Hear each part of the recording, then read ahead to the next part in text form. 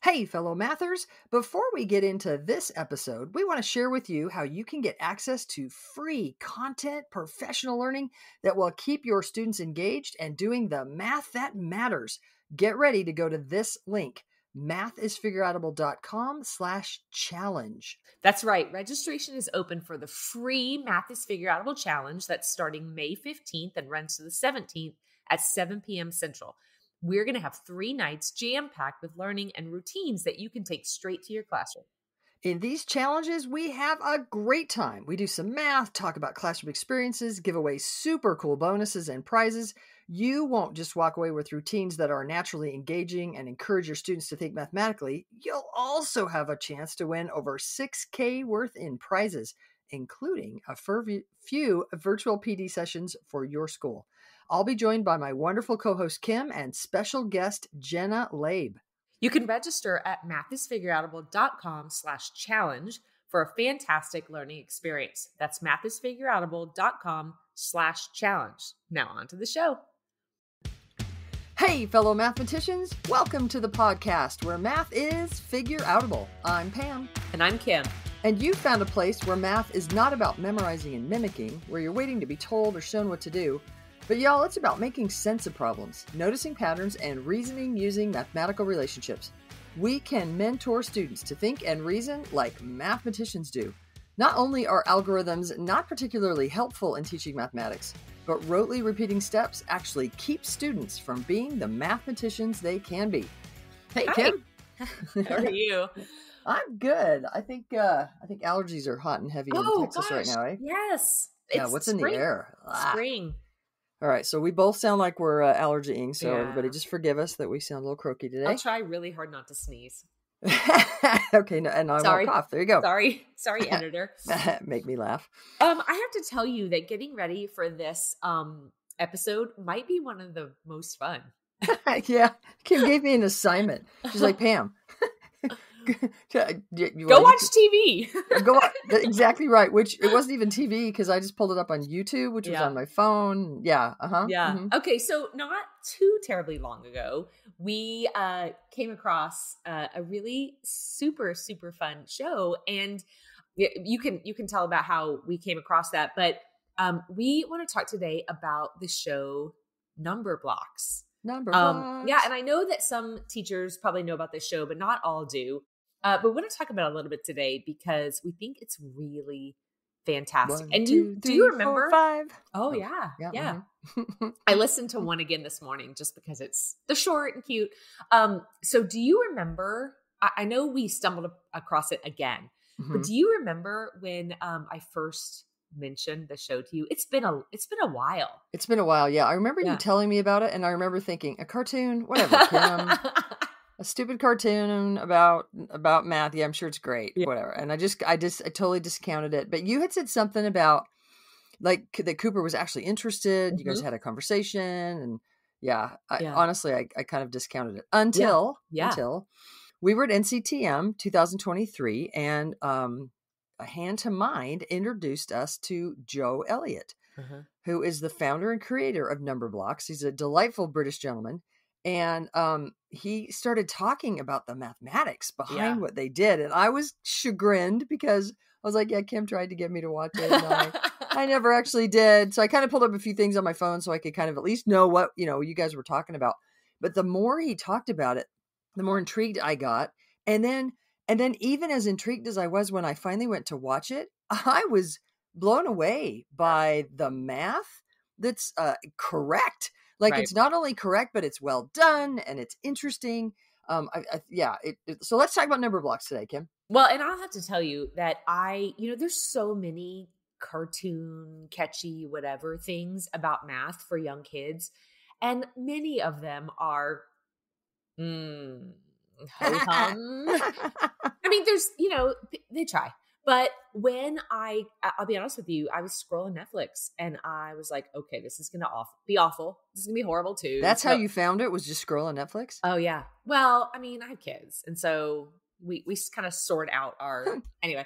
So, um, so you weren't scrolling for you. no, no, no, no, no.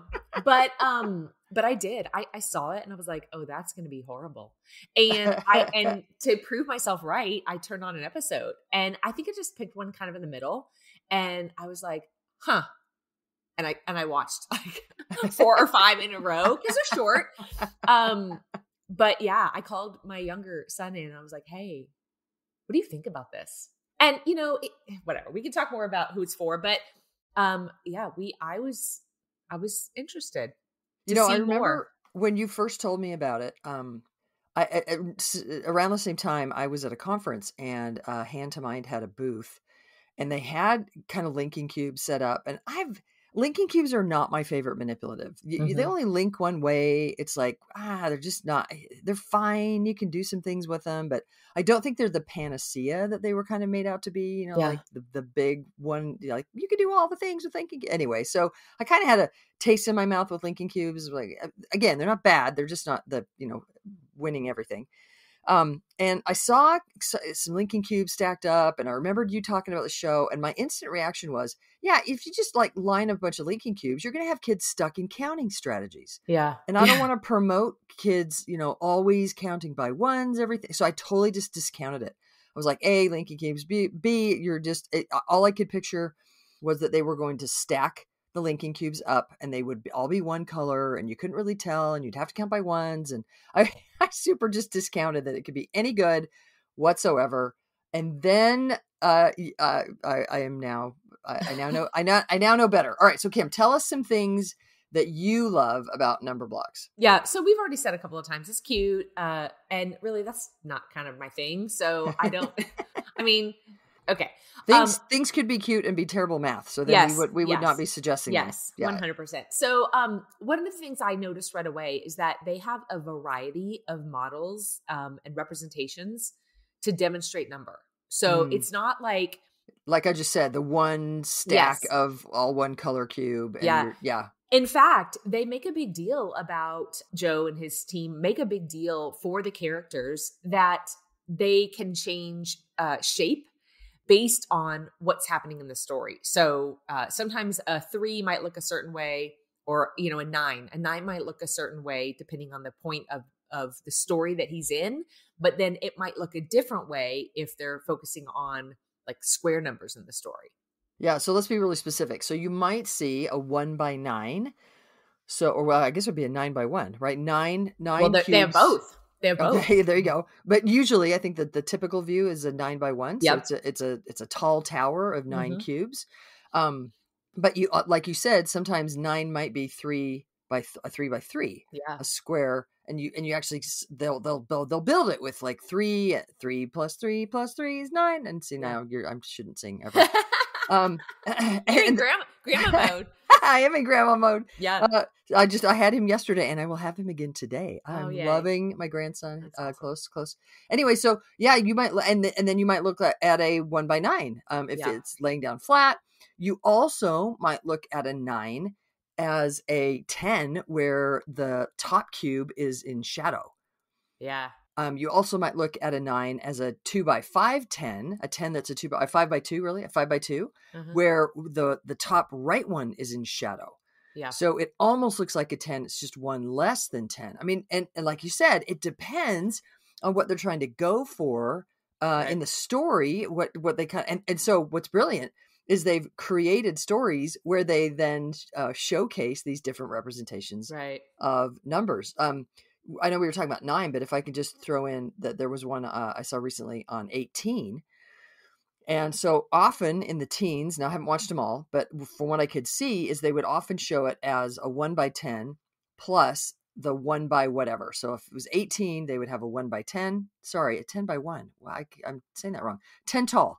Mm-hmm. 10 tall, a, a, a cube train that's 10 tall by one, and then a cube train that's eight tall. And so they have this 10, and 8 and they're like 10 and 8 that's 18 and they stick them together and then it kind of looks like this almost like a uh, 10 by 2 which would be 20 right with kind of those two missing yeah. there's that 10 and that 8 so it's this brilliant um spatial way of kind of saying hey 18 is 10 and 8 but yep. now we stick them together. Oh it's almost a 20 it's just two less than 20 they yeah. kind of have these shadow things going on um yeah uh really and then then that 18 can be all these different shapes right? Because it could be that that funny where it was a 10 plus 8 but it could also be um what 9 tall by 2 and it could be 6 tall by 3 did i get mm-hmm. them all? Yeah. And then and then all of those laying down. Yeah so like a lot and they do that um not all at once not quickly, not like bam, memorize these, but they'll have a whole episode on one of those ways of mm-hmm. representing the number, which yeah, is totally cool. Well, yeah, I'm glad you said that because I expected, you know, the first episode to be about number one and then number two, number three, number four. And so I skipped ahead to like, I don't know, 64 or something like that, thinking that I knew what it was going to be. And the number was significantly lower than I thought it was going to be. And I was like, what in the world?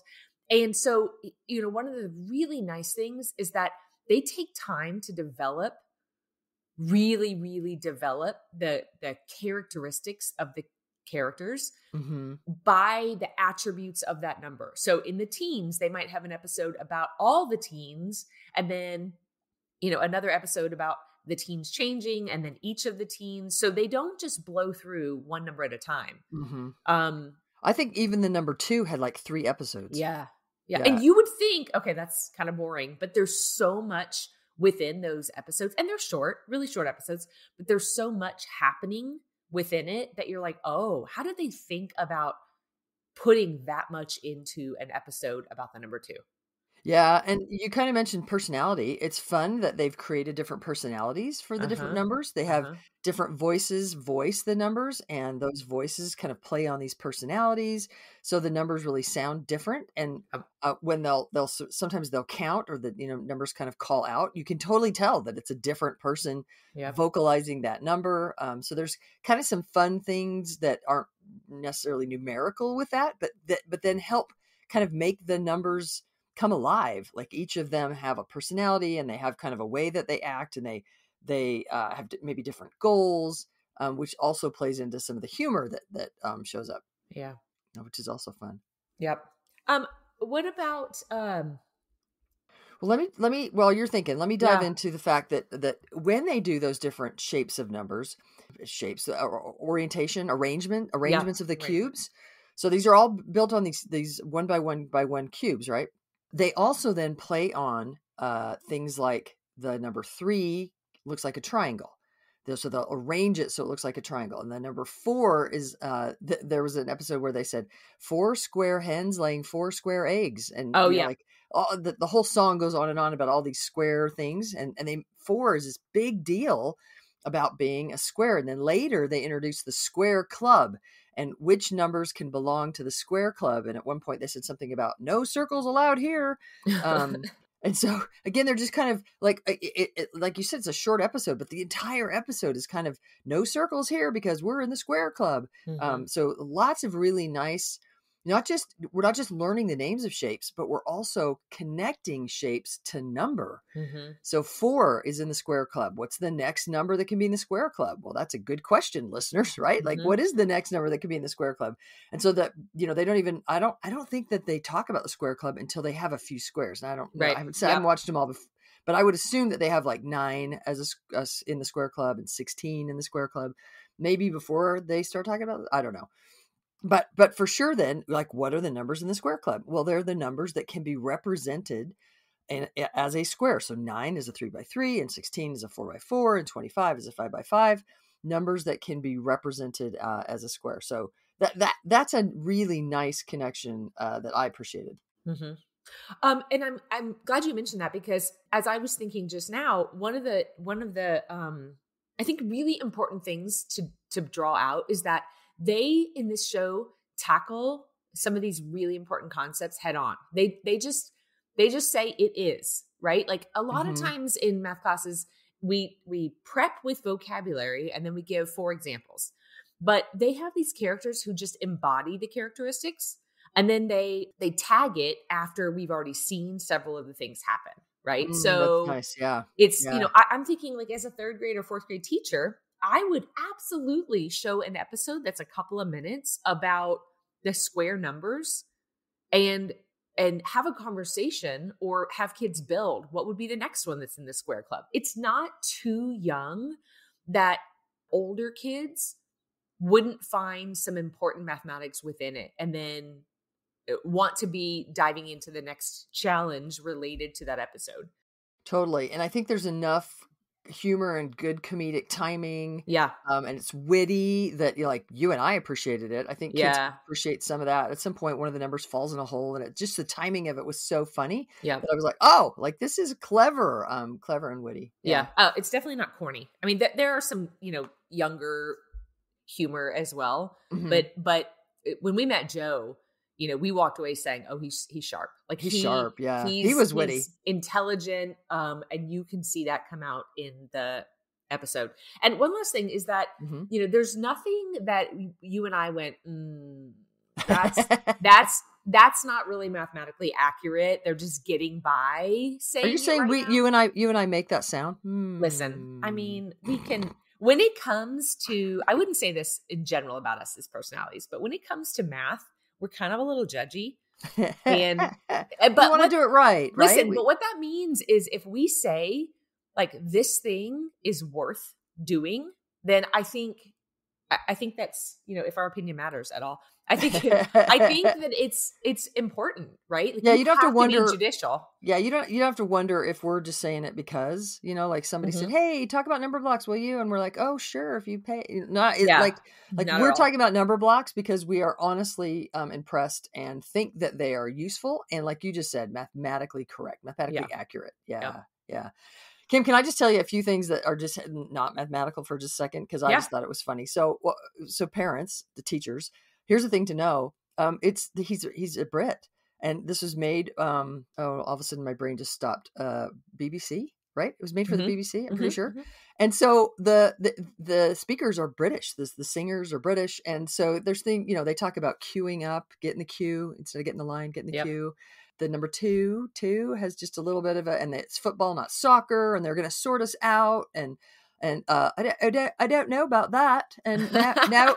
Now in my house, uh, see, I don't do it very well, but anyway, I, I wish my my British accent was a little bit better. But you might find your youngsters coming away um, thinking that numbers sound British, and I, I'm totally okay with that. I think I think accents are amazing. Um, I also thought the songs were catchy. One of the things that um, Joe talked about was that they he wanted to be um, really uh, intentional uh, about having good songs. And didn't Like- he didn't he say that he wrote a good portion of them? I think so. or yeah, he was at yeah. least heavily involved in writing for those. I, I believe so. Yeah, and and they're good. I mean, it's Yeah. catchy, um, delightful kinds of. Yeah, it was really fun. Yeah. One of the things that uh, I wanted to mention was that, like you said earlier, they build each number one at a time, and often they'll spend more than one episode on a number, or even more than a couple episodes on a number. Um, they, as they build the numbers one at a time, they will build them both with addition and subtraction. Mm-hmm. So they'll have sort of uh, let's build up to that number, but then they'll also have ooh, but we could build back to that number. Um, so it, like I said earlier, you might have see the ten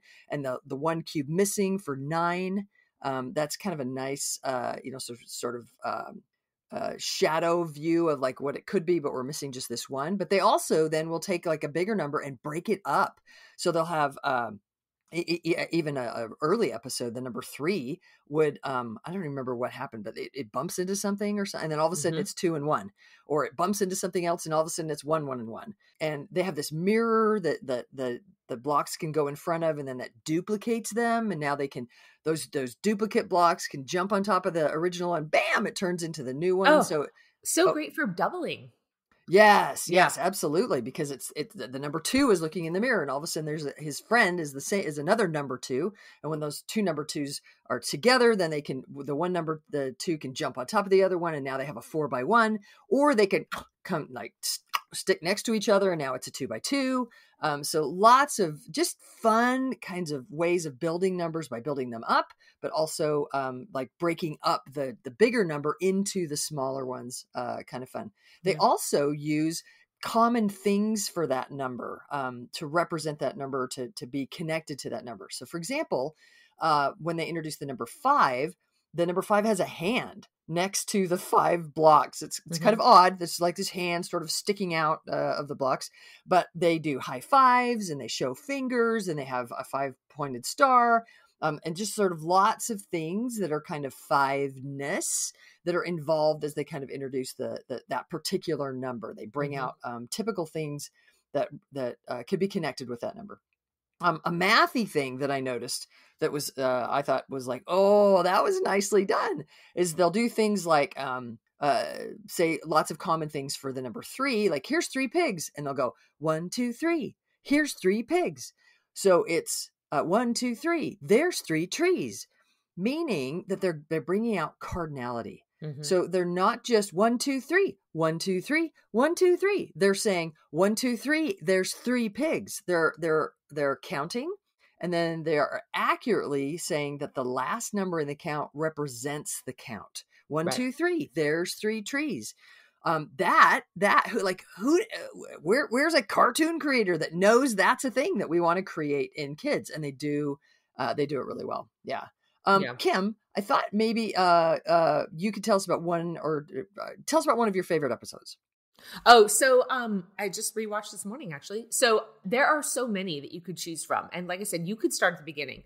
But I recommend that you check out uh, one of these two. So I really liked the Zero episode and and I'll just point out That must be the first one, right? Well, no. Episode? So Zero doesn't come up until season 3. I think it's like episode 5 or 8. So that that maybe speaks a little bit to uh, you know, you could question like, why does zero come so late? Well, mm. zero is a mm. complicated idea, right? So uh, zero came comes- came late in the history of of yeah. humans making math. Yeah, yeah. Uh-huh. Mm-hmm. And so the way they talk about zero is, you know, he shows up. Be- maybe it's a girl. He, anyway, they show up because um, they're trying to give away a, a, pie or something, and so the three takes one away, gives it to the two, takes one away, gives it to the one, and the one turns with his ten, and then like he doesn't know what happens when he gets rid of his one. But then all of a sudden, zero pops up. And I, what I love the most is that zero is just a mouth. So there's no, you know, each of them are represented. They have like two blocks with the two above their head or three blocks with the three above their head. Um, with the numeral three, like 10, right. 10 blocks with the yeah. numeral 10 above. Uh-huh, so you just have this mouth floating around. And the first thing they say is, Where are your blocks? And he was like, I don't have any so then he launches into a song, and in the song, it talks about scenarios where you have nothing, where you don't have anything, and he huh. uses words in the song like nothing and none. So some of these common words that represent zero. So super cute, super clever. Um, I have not seen that one. All oh, right. you should. When we're done, zero. I will go check out the mouth the mouth zero. Yeah, That's zero. hilarious. Season three. You know, you, you you can just almost see them thinking, how are we going to accurately represent this if, yeah. if, all the other numbers have these blocks? Yeah, it's a amazing. weird thing to try to represent. You know, speaking of representing, one of the things that I liked, um, there was an episode where they said, "Are we all here?" Uh-huh. And then as they were sort of, are we all here? Then they would go one, two, three, four, five, one, two, three, four, five. And as they would do that, they would light up the squares on each of them. Hmm. So you you'd see the one light up, and then you'd see the two light up, and, and then three light up. And the order with the music from smallest to biggest also had a low tone to a high tone. Hmm. And then they were all like, oh, we're all here. Off we go. On to a big adventure. Um, I, it's just super clever, uh, nice ordering Speaking of ordering, I saw one this morning uh, that uh, so I, I, don't quite have it memorized yet, but it had everything to do with balancing a bridge. Oh, we have to get across the bridge, but we have to balance it. Well, there's and I don't remember the number. There's 13 over here, so we've got 10 on this oh, side. Nice. What do we need to balance? And then they were, you know, discussion about what they would do. And while they were talking about balancing, they had the greater than and less than symbols showing up mm. to say if we only have 10 on this side and 13 on this side, the the it, the greater than less than symbol was correct to show that the 13 was greater than the 10 and then when they had the three jump on so that they were equal then the equal sign shows up. So like like lots lots of nice ways of having those symbols show up to represent situations that are happening. Um, mm-hmm. um, i thought that was i thought that was pretty nice. That's okay i think you've got maybe one other episode that you want to tell us about today. Um so the odds and evens episode i, I can't remember where this one is but um, the, the characters have to split themselves into team to play football or basketball. And one of the things that they did early on was they Which, demonstrated the dealing out. So uh, number one was a team, and then number two was a team.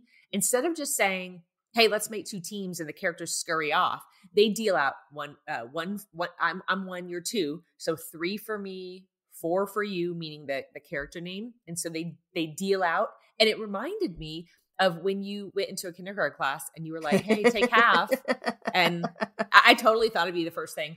And those kids had never dealt out cards. Yeah, I was like, y'all play cards with your kids, where they where, where, where you have to deal out so that they know that I have, you know, if you have you get one, you get one, you get one, you get one. Then, yeah. then when we have equal piles, that's awesome. So they were yeah. dealing out to to make sure that they had the same number on, yeah. on teams. Cool. And so they wanted to give themselves team names. And one of the characters says, "Let's be the yellow team," and the other ones look at him like, "No, that only is you, not us."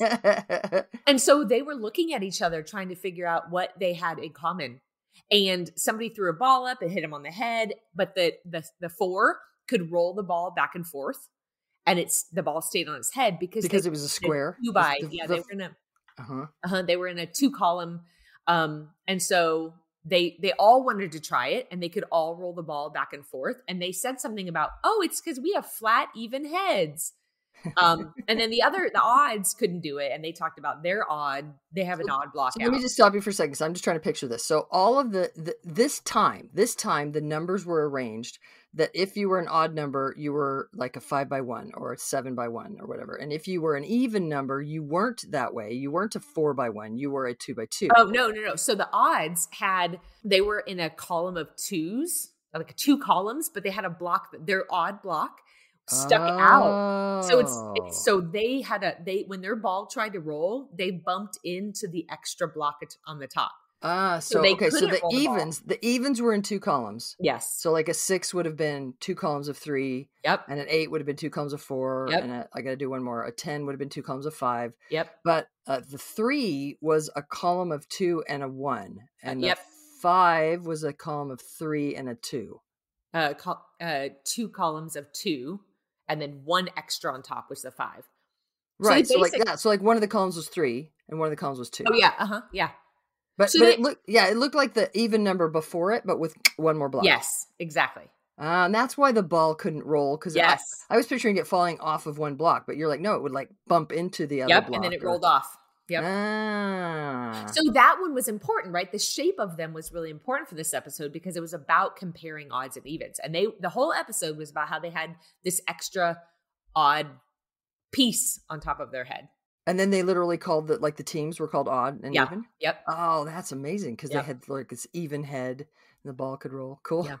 Yep. so you just picture these writers, you know, like thinking about how can we do odd and even and how can we create a story that's kind of motivating and and works. That's awesome. Nicely done. Hey, one more quick thing, Kim. Mm-hmm. Um, a, a, quick episode that I caught. Um, I shouldn't say quick. I, I only watched part of it, but it, as I was, uh, it, it, was doing that thing on YouTube where it just kind of skips ahead. Mm-hmm. That it said an ifer machine. Let's do the what if, and I was like, the what? The ifer machine?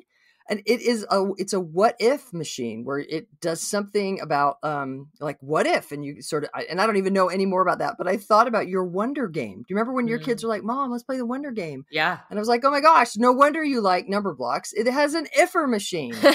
what if?" I like that. Anyway, That's I thought funny. about you. All right, Kim, who who is this for? Yeah we got to wrap this up. We're we're getting excited about it still. Um so obviously young kids right? It's a it's a kid cartoon. So um i have a teacher friend who's a kindergarten teacher and she i went to do some strings in her classroom and she you know they have one bathroom in their classroom and so yeah. she said it takes some time to get kids after recess to go to the bathroom. So she turns on an episode and the kids you know instead of you know wandering around they sit down and they watch an episode of Numberblocks which i thought was brilliant um, but also, I have to tell you that when I watched, I think I mentioned it earlier, when I watched these episodes, my kids came wandering in because they were probably like, What are you doing? but they both slowly like sat down on the bed and were intrigued. And the conversations we had were, What math is in here? And so they were looking for mathy things um because that, this is your kids are not young at this point no right? your no, kids no, are teenagers yeah, yeah, yeah i think this would be a great thing to do with pre-service teachers to say what math is involved in this content this type of number um, mm. um and what what are you noticing i mean can they pick out the math what what are they noticing about odds and evens that maybe hadn't occurred to them you know and they're ready to turn around work with kids Nice, nice. Yeah, I tell you what, uh, my grandchild is only about five months right now, but it's in the plan. It is in Heck the plan. Yeah, yeah when when his parents decide that the TV's a thing or shows are a thing, then uh, Numberblocks are going to be the thing Grandma's showing. Yeah, I think there's little characters. You can have stuffed animal number blocks at your house. Hey, there you go. That'll be yeah. super fun. All right. All right. Y'all, thank you for tuning in and teaching more and more real math. To find out more about the Math is Figureoutable movement, visit mathisfigureoutable.com and keep spreading the word that math is figure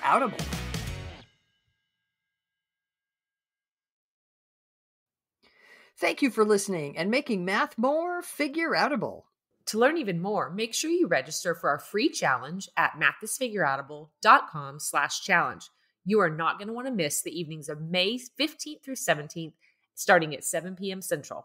Math teaching, math teaching, go register now. That's mathisfigureoutable.com slash challenge. Join us to make math more and more figure outable. And if you can't join live, register and we'll send you access to the recordings. We'll see you there.